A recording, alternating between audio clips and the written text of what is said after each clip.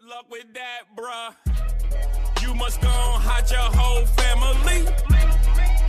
What you think we wearing black for? Ready for that war, ready for that war,